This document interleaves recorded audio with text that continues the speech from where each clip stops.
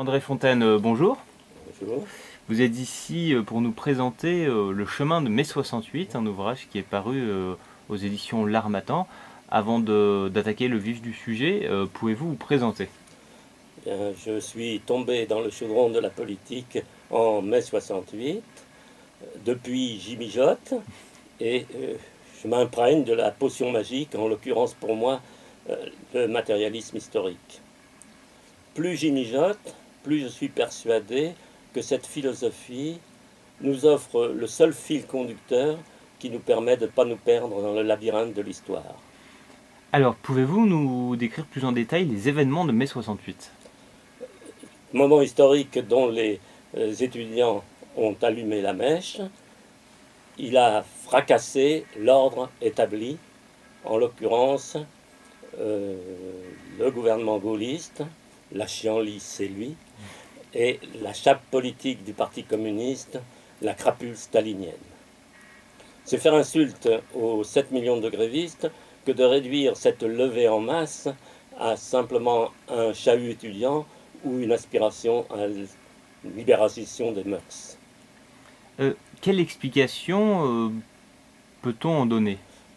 L'explication, je l'ai donnée dès 1974 au PSU, c'est-à-dire que j'ai expliqué que mai 68, étant donné le combat à trois auquel j'avais assisté, à trois, non pas à trois protagonistes, c'est-à-dire la bourgeoisie, le Parti communiste, les contestataires, j'ai expliqué que la contestation m'était apparue comme l'expression d'une nouvelle classe dominante, la classe compétente.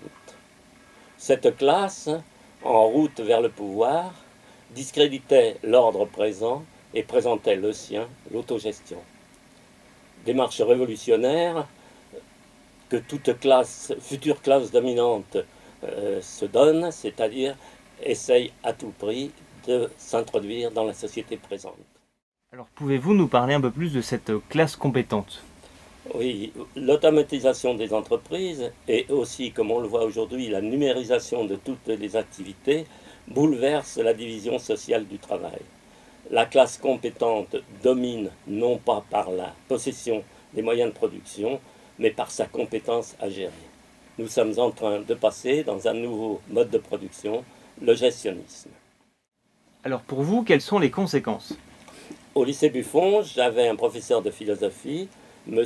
Perret, qui nous répétait souvent il faut vivre sa pensée tout en pensant sa vie. Pour une société, vivre sa pensée, c'est la politique. Penser sa vie, c'est l'histoire. En 68, l'ordre ancien a perdu la primauté idéologique. Il s'est trouvé dans l'incapacité de vivre sa pensée et à plus forte raison de penser sa vie.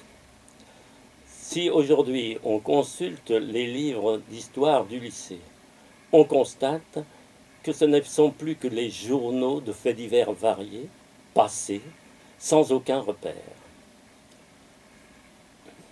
Faute d'avoir compris que les événements de mai 68 avaient défini de nouvelles raisons de son existence, la société française est en déshérence, le contrat social est rompu, l'histoire est en miettes.